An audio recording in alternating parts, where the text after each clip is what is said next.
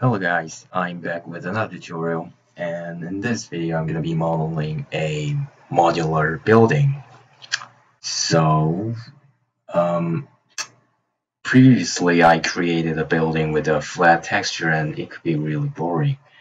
In some cases, uh, if you're creating some animation instead of um, some sort of game, um, that kind of flat buildings can be very um, distinctive from the scene. So today I'm going to be giving you some special tips when you're creating modular buildings within Maya. So first of all, let's create a floor for this one. So I'm going to start with this cube. Let's scale this up a little bit and um, it depends on what kind of building you're creating but I'm gonna go with the uh, square type buildings with a little bit of curvature. So I'm gonna use bevel for this one. You can just fraction and segments. And just do it like that if you want that is absolutely fine to edit. So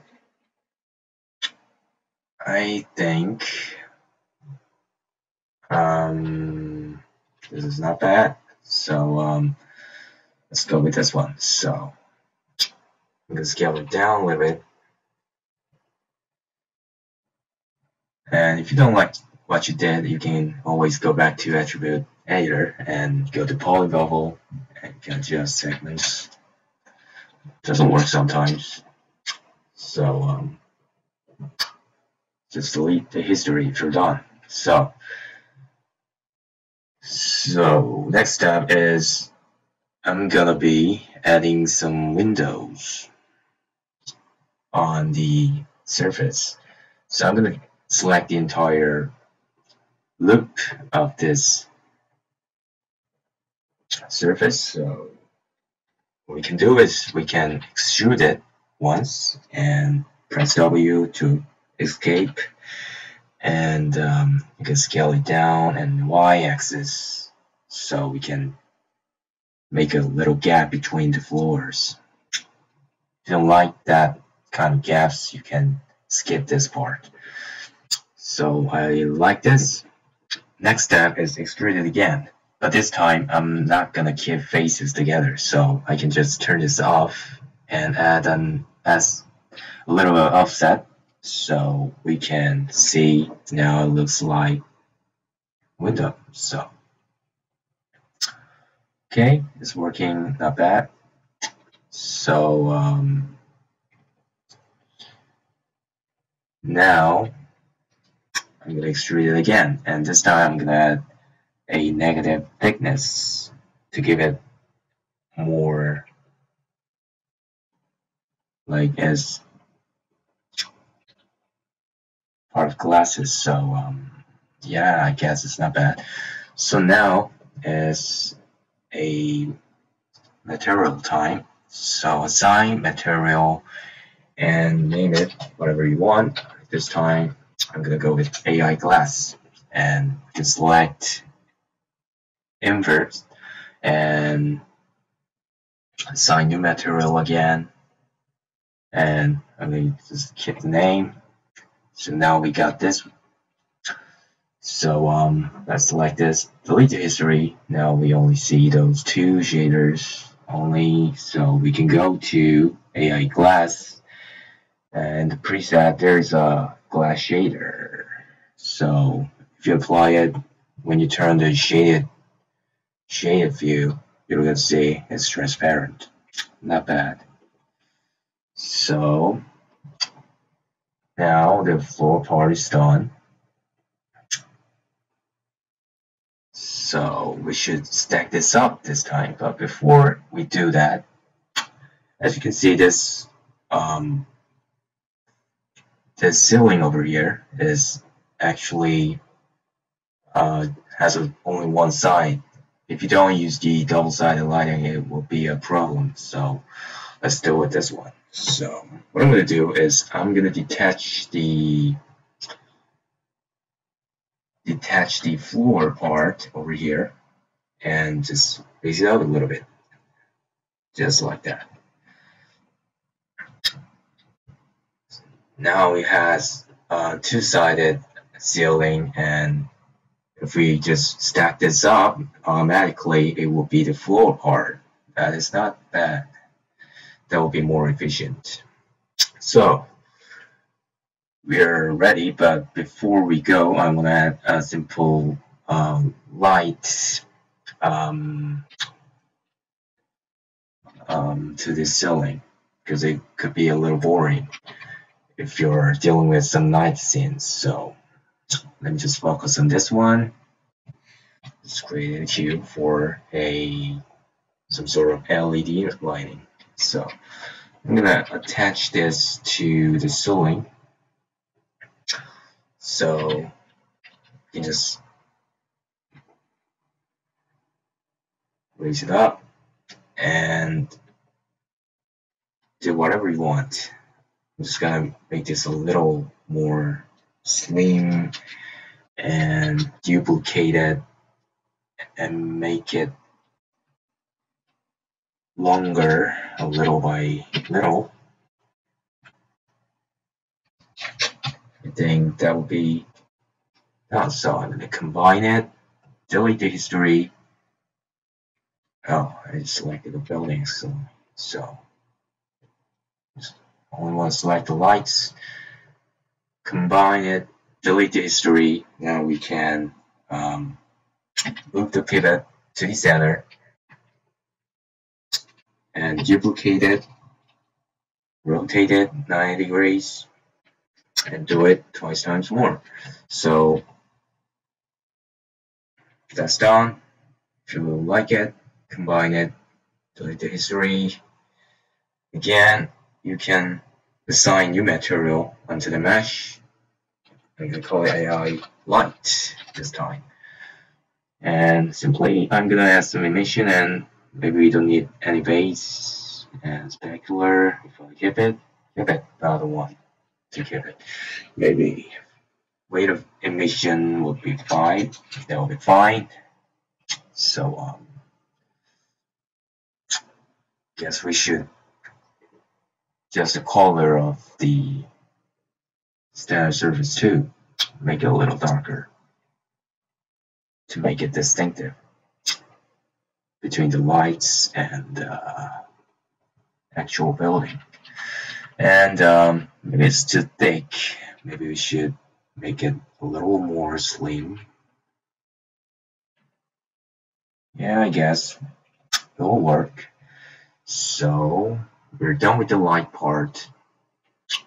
Well, maybe we should add something on the center, but I'm going to skip, skip it this time. So let me combine those two again. Now we got perfectly clean uh, floor module. So if you want to scale it or whatever you want to do, do it. And next step is move the pivot.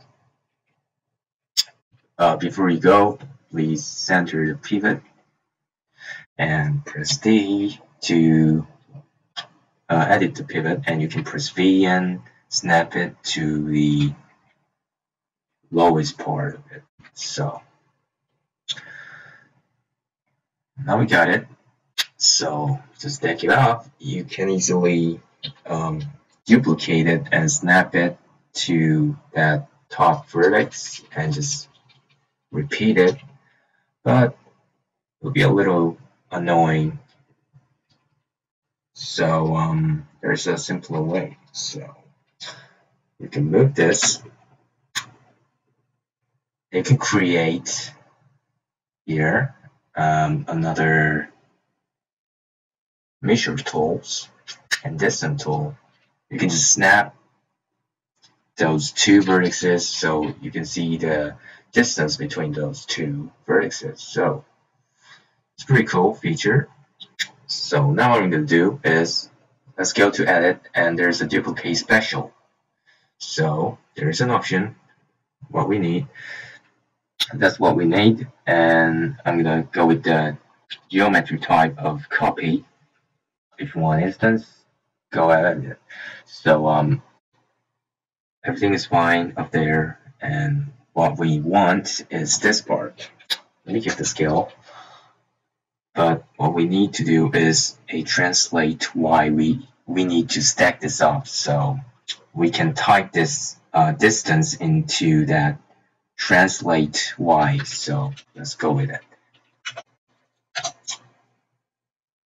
Type it and number of copies is gonna be your uh, amount of floors. Let's go with 70 floors and just simply click degree spatials. Now it's done. Very simple. So if you're done, let me just combine all of those.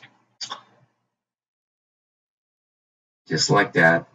And delete the history. You can move this aside from that.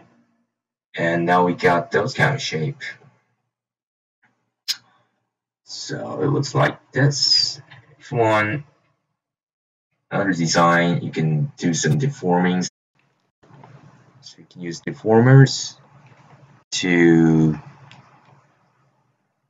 um, make some more interesting shape. So right now, I guess it's pretty fine. Let's add some lightings to see how it looks like. You can simply click on this um, lighted display and you can go to Arnold lights and Skydome light. We'll add the cool lightings and if you want you can use your cool HDR images. Hmm. I'm gonna go with the sky.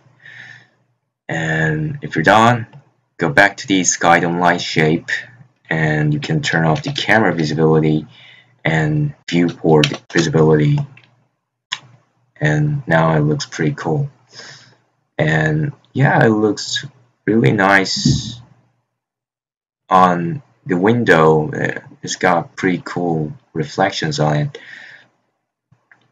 And um, if you want to adjust the color of the reflection be, there is a cool way to do it. Before that let me just um, adjust the intensity of that Skydome light. Now, looks a bit better. And um, let's go to AI glass. Want some more bluish kind of window, We can just add a blue tint on this window. Yeah, it will look better. So um, if you like this shape, you can go with it, but if you want a little more interesting shape, uh, you can use deformer. Any kind of deformer you want. Non-linear deformers are um, pretty nice in this case. So let's go with it. Before we go, it might crash, so let's save it. So um, type whatever you want. And let's try a flare deformer. So you can go to flare handle. And for example, you can increase the end flare. Maybe start flare is would be better. Now you can see what what it's like this deformer it can create some sort of pyramid shape. Looks pretty fine. Better than I expected. So, um, yeah, it looks pretty cool. So if you like that, you can copy or go to history, whatever you want, but I wanna delete that and just keep that one over there. So um, that's with the flare nonlinear deformer. And this time let's go with some sine deformer. So if you create it, nothing happens but you can um, control the amplitude to make this kind of sine graph shape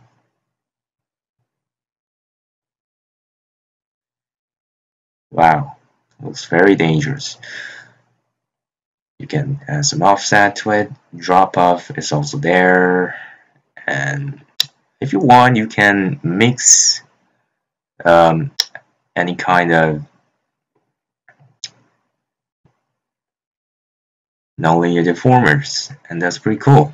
So let's try whatever we want also just the higher low bound here. This determines uh, which point you can start deforming it. So um, yeah it's it's got pretty cool looking here. If you're done uh, like you did before you can duplicate it and just put this aside and get rid of those deformers. So I got the original mesh. So that was pretty much it. And if you want to render this out let's just try to render it. I'm not really sure how it's gonna look like because I didn't really deal with the shaders. But yeah it looks like this and I guess um, it's not a bad looking maybe. Maybe that would be it would be better if there are some light controls but maybe you can do that with some mesh network. I'll be creating a tutorial for that one but today's tutorial ends right here and I hope that this video was helpful for your work and um, I hope you made your own cool buildings uh, with this method. So thank you for watching this video and if you want more like this tutorial please subscribe or press the like button and thank you for watching.